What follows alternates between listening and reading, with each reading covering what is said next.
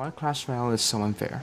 Clash Royale has been one of the most successful mobile games to ever exist, made by one of the most successful mobile gaming companies ever, Supercell. But unfortunately, like most mobile games, it has one major flaw, pay to win.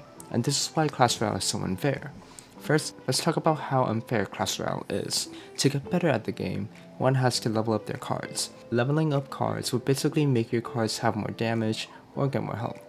Even the best player with cards 2 levels below an average player would have trouble winning. The cost of elixir to kill a minion horde for example is going to be greater, as let's say your arrows won't kill the princess or your zap won't kill the goblin barrel.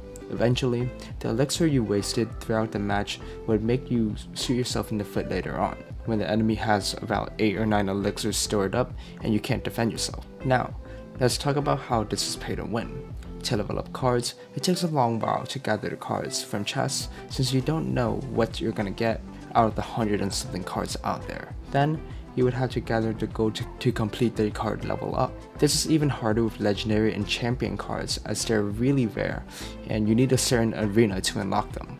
And to upgrade them takes forever as they're never found in chests. What's the solution? In-game purchases, of course.